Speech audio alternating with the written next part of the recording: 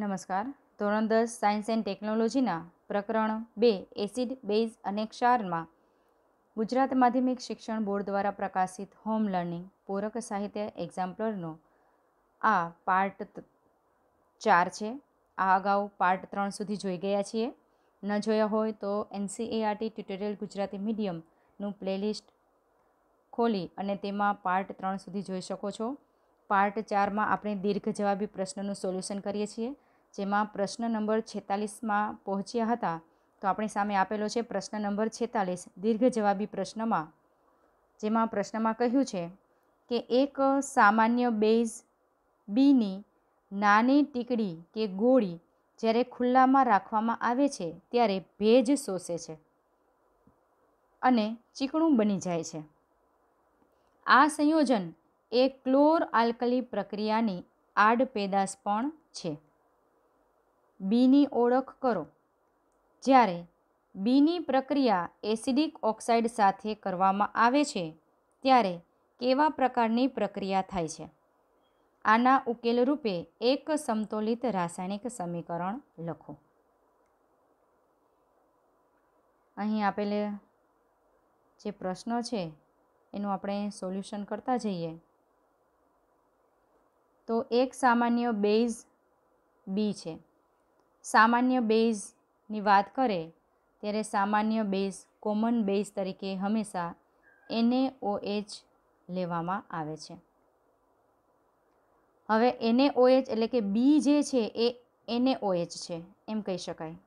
આ એનએઓએચની નાની ટીકડી એટલે કે ગોળીને જ્યારે ખુલ્લી રાખવામાં આવે છે, ત્યારે તે ભેજ શોષે છે અને ચીકણું બની જાય છે.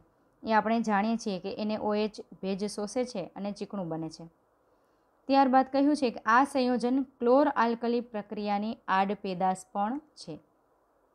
ક્લોર આલ્કલી પ્રક્રિયાને યાદ કરી આપણે ઉપર જ જોઈ ગયા. ક્લોર આલ્કલી પ્રક્રિયા એટલે કે એનએસીએલ, જે બ્રાઇન છે, બ્રાઇનનું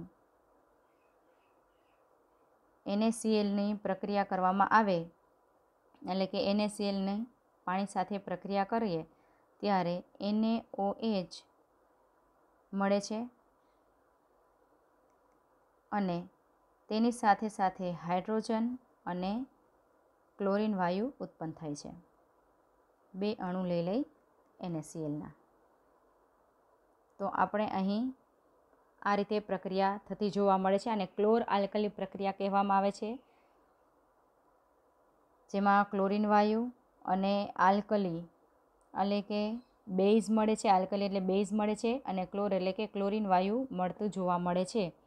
તો અહીં ક્લોર આલ્કલી પ્રક્રિયાની આડપેદાશ તરીકે આ એનએઓએચ મળે છે. માટે આપણે જે બેઝ લીધેલો છે, એ બેઝ સાચો જ છે, એનએઓએચ જ હોવો જોઈએ. તો આપણે આ એ આડપેદાશ તરીકે એને ઓએચ મળે છે, એ પણ પ્રૂફ થઈ ગયું. હવે આગળ કહ્યું છે કે બીની ઓળખ કરો.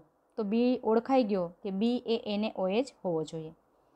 ત્યાર બાદ કહ્યું છે કે જ્યારે બીની પ્રક્રિયા એસિડિક ઓક્સાઇડ સાથે કરવામાં આવે છે. બીની પ્રક્રિયા એટલે કે એને ઓએચની પ્રક્રિયા કરવાની છે એસિડિક ઓક્સાઇડ. એસિડિક ઓક્સાઇડ તરીકે આપણે કાર્બન ડાયોક્સાઇડ લઈએ છીએ. કાર્બન ડાયોક્સાઇડ એ એસિડિક ઓક્સાઇડ છે. આ કાર્બન ડાયોક્સાઇડ સાથેની પ્રક્રિયા કરીએ, ત્યારે NA two CO three sodium carbonate મળે છે અને પાણી મળે છે. એટલે કે આ ક્ષાર છે એક પ્રકારનો. તો અહીં કહ્યું છે બીની પ્રક્રિયા એસિડિક ઓક્સાઇડ સાથે કરવામાં આવે છે, ત્યારે કેવા પ્રકારની પ્રક્રિયા થાય છે? એસિડિક ઓક્સાઇડ તરીકે આપણે કાર્બન ડાયોક્સાઇડ લીધો છે. આના ઉકેલ રૂપે એક સમતોલિત રાસાયણિક સમીકરણ લખો. તો અહીં રાસાયણિક સમીકરણ લખ્યું છે. તો આપણે કહી શકાય કે આ બેઝ છે, આ એસિડ છે. એસિડ અને બેઝની અહીં તટસ્થીકરણની પ્રક્રિયા થાય છે. એટલે આ ક્ષાર બને છે અને આ પાણી બને છે. તો એમ કહી શકાય કે આ એસિડ બેઝ રિલેશન પ્રક્રિયા છે અથવા તો એસિડ બેઝના તટસ્થીકરણની પ્રક્રિયા છે એમ પણ કહી શકાય. તો આવો જોઈએ એનો જવાબ. છેતાલીસમાં પ્રશ્નનો જવાબ આપેલો છે કે સોડિયમ હાઇડ્રોક્સાઇડ એ સામાન્ય રીતે વપરાતો બેઝ છે અને જળ શોષક છે. આથી જ તે વાતાવરણમાંથી ભેજને શોષે છે. ખાસ યાદ રાખવાનું છે, જળ શોષક બેઝ કયો છે? Sodium hydroxide. તે ભેજને શોષી અને ચીકણો બને છે. ત્યારબાદ કહ્યું છે? એસિડિક ઓક્સાઇડ બેઝ સાથે પ્રક્રિયા કરી ક્ષાર અને પાણી આપે છે. એટલે કે એનએઓએચ અને સીઓ ટુ જે એક એસિડિક ઓક્સાઇડ છે. વચ્ચે પ્રક્રિયા થઈ અને નીચેનું સમીકરણ આપે છે two NAOH plus CO two gives C NA two CO three એટલે કે સોડિયમ કાર્બોનેટ અને પાણી. આ ક્ષાર છે અને આ પાણી છે. તો એમ કહી શકાય કે આ પ્રક્રિયા છે, એ તટસ્થીકરણની પ્રક્રિયા છે એવું કહી શકાય. આગળ જોઈએ પ્રશ્ન નંબર સુડતાલીસ. સુડતાલીસમાં પ્રશ્નમાં કહ્યું છે કે આવર્ત કોષ્ટકના સમૂહ બેના એક તત્વનો સલ્ફેટ ક્ષાર સફેદ અને નરમ પદાર્થ છે. જેની કણક બનાવીને તેને જુદા જુદા આકારમાં ઢાળી શકાય છે. જ્યારે આ સંયોજનને થોડા સંયોજનને ખુલ્લામાં થોડો સમય રાખી મૂકવામાં આવે છે, ત્યારે તે કઠણ બની જાય છે અને વિવિધ આકારોમાં ઢાળી શકાતો નથી. આ સલ્ફેટ ક્ષારની ઓળખ કરો અને તે શા માટે આવી વર્તણૂક દર્શાવે છે? અહીં સંકળાયેલી પ્રક્રિયા આપો. પ્રશ્ન આપણે વાંચતા જઈએ અને તેનું સોલ્યુશન કરતા જઈએ? સુડતાલીસમો પ્રશ્ન છે. કહ્યું છે, આવર્ત કોષ્ટકના સમૂહ બેના એક તત્વનો સલ્ફેટ ક્ષાર છે. તો આવર્ત કોષ્ટક બેમાં બેમાં, બે સમૂહમાં કયા તત્વો હોય છે? તો બેમાં એક તો બેરિલિયમ હોય છે, મેગ્નેશિયમ હોય છે, કેલ્શિયમ હોય છે સ્ટ્રોન્સિયમ હોય છે અને બેરિયમ હોય છે. આટલા સમૂહ બેમાં આવતા તત્વો છે. હવે આ તત્વ સલ્ફેટ ક્ષાર સફેદ અને નરમ છે અને તેની કણક બનાવીને જુદા જુદા આકારમાં ઢાળી શકાય એવી છે. તો આપણે જાણીએ છીએ કે આમાંથી આ એક કેલ્શિયમનો સલ્ફેટ હોવો જોઈએ. એટલે કે જે ક્ષાર છે તે કેલ્શિયમનો સલ્ફેટ એટલે કે એનો હોવો જોઈએ. કારણ કે એ સફેદ અને નરમ પદાર્થ છે. અને તેનો આકાર તેને જુદા જુદા આકારમાં ઢાળી શકાય છે અને ખુલ્લામાં રાખીએ તો તે કઠણ પણ બની જાય છે અને જુદા જુદા આકારોમાં ઢાળી શકાતો નથી. તો આ જે કેલ્શિયમનો સલ્ફેટ છે તેને આપણે પ્લાસ્ટર ઓફ પેરિસ કહીએ છીએ. તેના માટે આપણે જોઈએ સમીકરણ કે પ્લાસ્ટર ઓફ પેરિસ એટલે કે C A S O four આ કેલ્શિયમ સલ્ફેટ ડોટ અડધો અણુ પાણીનો. આ પ્લાસ્ટર ઓફ પેરિસનું રાસાયણિક સૂત્ર છે, જેને કેલ્શિયમ સલ્ફેટ હેમીહાઇડ્રેટ તરીકે ઓળખવામાં આવે છે. હેમીહાઇડ્રેટ એટલે કે અડધો અણુ પાણીનો હોય એને હેમીહાઇડ્રેટ કહેવાય છે. આ કેલ્શિયમ સલ્ફેટ હેમીહાઇડ્રેટ, જેને પ્લાસ્ટર ઓફ પેરિસ કહેવામાં આવે છે. હવે કહ્યું છે આગળ આપણે જાણીએ છીએ કે આ પ્લાસ્ટર ઓફ પેરિસ સફેદ અને નરમ છે અને તેની કણક બનાવીને જુદા જુદા આકારમાં ઢાળી શકાય છે એની મૂર્તિઓ બનાવવામાં આવે છે. એનો જુદો જુદો ઉપયોગ આપણે જાણીએ છીએ, આપણે પ્રકરણ બે શીખી ગયા છીએ માટે. આગળ કહ્યું છે કે જો આને ખુલ્લો રાખવામાં આવે પ્લાસ્ટર ઓફ પેરિસને, તો વાતાવરણનો ભેજ શોષી લે છે અને પોતે એકદમ કઠણ બની જાય છે અને પછી એને જુદા આકારમાં ઢાળી શકાતો નથી. એ આપણે જાણીએ છીએ. અને આવું થવાનું કારણ શું હોય છે એ પણ આપણે કહી શકાય કે અહીં જે કેલ્શિયમ સલ્ફેટ હેમિહાઇડ્રેટ છે, એ કેલ્શિયમ સલ્ફેટના બે એકમ, એક પાણીના અણુ સાથે ભાગીદારી કરે છે. અહીં અડધો અણુ પાણીનો તો હોય જ નહીં, પણ એનું પ્લાસ્ટર ઓફ પેરિસની રચના કેવી હોય છે? તો કે સી એ એસો ફોર સાથે એક અણુ પાણીનો અને એની સાથે સી એ એસો ફોર એટલે કે બે કેલ્શિયમ સલ્ફેટના અણુની સાથે એક પાણીનો અણુ જોડાયેલો હોય છે. એટલે તેને એમ કહી શકાય કે કેલ્શિયમ સલ્ફેટના બે સૂત્ર એકમ એક પાણીના અણુ સાથે ભાગીદારી કરે છે. સીએએસઓ ફોર એટલે કે કેલ્શિયમ સલ્ફેટના બે સૂત્ર એકમ, આ બે સૂત્ર એકમ છે એ પાણીના એક અણુ સાથે ભાગીદારી કરે છે અને પરિણામે તે નરમ હોય છે. જ્યારે આ પ્લાસ્ટર ઓફ પેરિસને થોડા સમય માટે ખુલ્લું રાખવામાં આવે, ત્યારે તે વાતાવરણમાંથી ભેજ શોષે છે અને તેમાંથી જીપ્સમ બનાવે છે. આમાંથી જે બને છે એ જીપ્સમ બને છે અને જીપ્સમ એ ખૂબ જ સખત કઠણ પદાર્થ છે અને જીપ્સમ પાણીને વાતાવરણમાંથી ભેજને શોષે છે. ત્યારે તેનું રાસાયણિક સૂત્ર બને છે C A SO four dot two H two O એટલે કે બે અણુ પાણીના અહીં આવે છે અને જેને જીપ્સમ કહેવામાં આવે છે. અને આ જીપ્સમ બન્યા પછી તે જુદા જુદા આકારોમાં ઢાળી શકાતો નથી કારણ કે પોતે કઠણ બની જાય છે. તો આવો જોઈએ એનો જવાબ. સુડતાલીસમાં પ્રશ્નનો જવાબ આપેલો છે.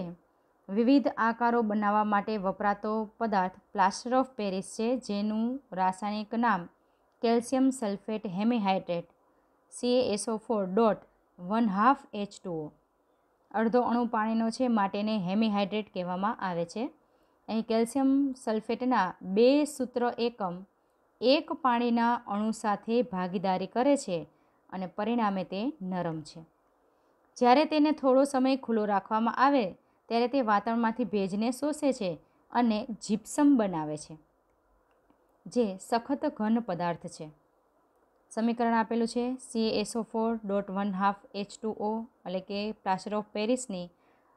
જ્યારે ખુલ્લો રાખવામાં આવે ત્યારે દોઢ અણુ પાણીનો તેની સાથે જોડાય છે અને તેમાંથી જીપ્સમ બનાવે છે C A SO four dot two H two O જેને જીપ્સમ કહેવાય છે અને જે સખત પદાર્થ છે જ્યારે પ્લાસ્ટર ઓફ પેરિસ એ નરમ પદાર્થ છે.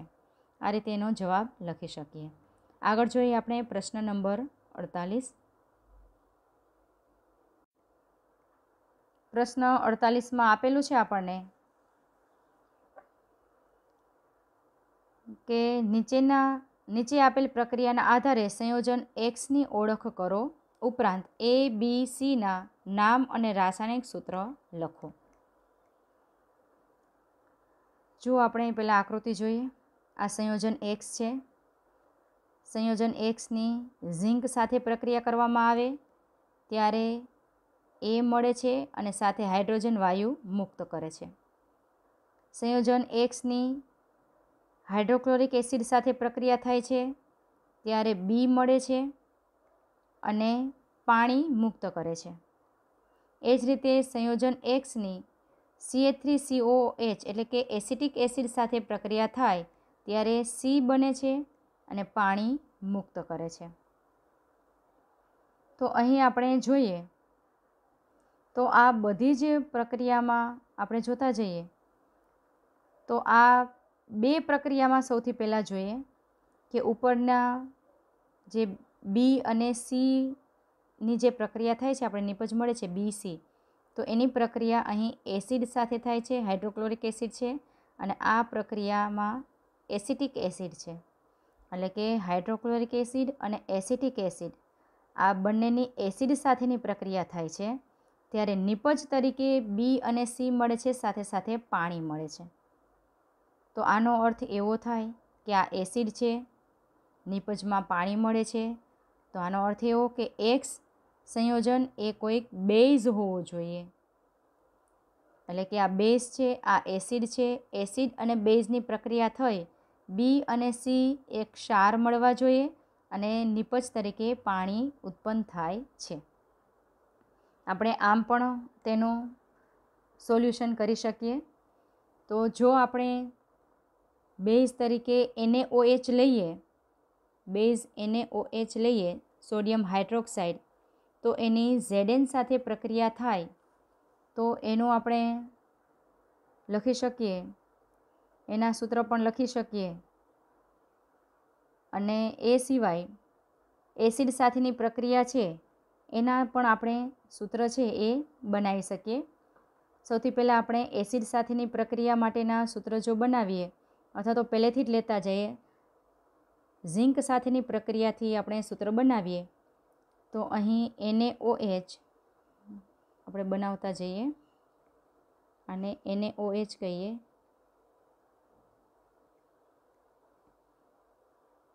તો NA O H plus Z N તો એ તરીકે આપણને મળે છે NA two Z N O two એટલે કે સોડિયમ ઝિંકેટ એ આપણે એચસીએલમાં મળશે. ઝિંક સાથેની પ્રક્રિયામાં આપણે જોતા જઈએ, ફરીથી એને ઓ એચની અહીંયા સરખી રીતે લખતા જઈએ તો NA two Z N O two મળે છે અને હાઇડ્રોજન ગેસ ઉત્પન્ન થાય છે. એટલે આ જે મળે છે, આને કહેવાય સોડિયમ ઝિંકેટ એને ઓએચની ઝિંક સાથે પ્રક્રિયા થઈ સોડિયમ ઝિંકેટ બનાવે છે અને હાઇડ્રોજન ગેસ ઉત્પન્ન કરે છે. એ જ રીતે આપણે બીજું સમીકરણ જોઈએ તો એને ઓએચની એચસીએલ સાથે પ્રક્રિયા થાય ત્યારે આપણે જાણીએ છીએ કે પ્રબળ બેઝ છે, પ્રબળ એસિડ છે, તેની સાથે પ્રક્રિયા થઈ અને તટસ્થ ક્ષાર એનએસીએલ આપે છે અને પાણી મુક્ત કરે છે. એ જ રીતે ત્રીજી પ્રક્રિયામાં જોઈએ એને ઓએચની એસિટિક એસિડ સાથેની પ્રક્રિયા કરવામાં આવે ત્યારે સોડિયમ એસિટેટ મળે છે અને પાણી મુક્ત કરે છે. સોડિયમ એસિટેટ એટલે આપણે લખી શકીએ C H three C O O N A આ સી તરીકે સોડિયમ એસિટેટ છે બી તરીકે એનએસીએલ છે એ તરીકે સોડિયમ ઝિંકેટ છે. તો અહીં જે એક્સ છે એ એનએઓએચ બેઝ હોવો જોઈએ અને એ સોડિયમ ઝિંકેટ છે બી એનએસીએલ સોડિયમ ક્લોરાઇડ છે અને C A A C sodium acetate છે એમ કહી શકાય. આ બધા ક્ષાર છે અને તેની સાથે આ પ્રક્રિયા થતી જોવા મળે છે. તો આપણે જોઈએ એનો જવાબ. જવાબ આપેલો છે કે એક્સ હોવો જોઈએ NA OH A sodium zincate B sodium chloride અને સી એ સોડિયમ એસિટેટ હોવો જોઈએ. આપણે જો સમીકરણ લખીએ, તો પહેલું સમીકરણ આ રીતે બનશે. એને ઓએચની પ્રક્રિયા આપણે કરવાની છે ઝેડએન સાથે. પ્રક્રિયા થઈ. NA two Z N O two plus H two gas. Sodium zincate બને છે. અને અહીંયા લઈ લઈએ આપણે એને ટુ એટલે બે અણુ સોડિયમ હાઇડ્રોક્સાઇડના તો અહીં સમીકરણ સંતુલિત થતું જોવા મળે છે. બીજું આપણે લઈએ બીજી પ્રક્રિયા, તો કે એને ઓએચની પ્રક્રિયા કરવાની છે એચસીએલ સાથે. ત્યારે બને છે એનએસીએલ અને પાણી મુક્ત થતું જોવા મળે છે. આ જે મળે છે, આ આપણે એ મળે છે, આ છે, એ બી મળે છે. અને ત્રીજું આપેલું છે એને ઓએચની એસિટિક એસિડ સાથે પ્રક્રિયા C H three COO H સાથે પ્રક્રિયા કરવામાં આવે ત્યારે C H three CO O N A એટલે કે સોડિયમ એસિટેટ મળે છે અને પાણી મુક્ત કરે છે. તો આ સોડિયમ એસિટેટ એ આપણો સી છે. આ રીતે એનો પ્રક્રિયા છે એ લખી અને સમજાવી શકાય અને એક્સ એ બી સી આપણે મેળવી શકાય. તો આમ અહીં આપણે આપણો ચોથો પાર્ટ પૂરો કરીએ છીએ. હોમ લર્નિંગ એક્ઝામ્પલર આપણું અહીં પૂરું થાય છે. Thank you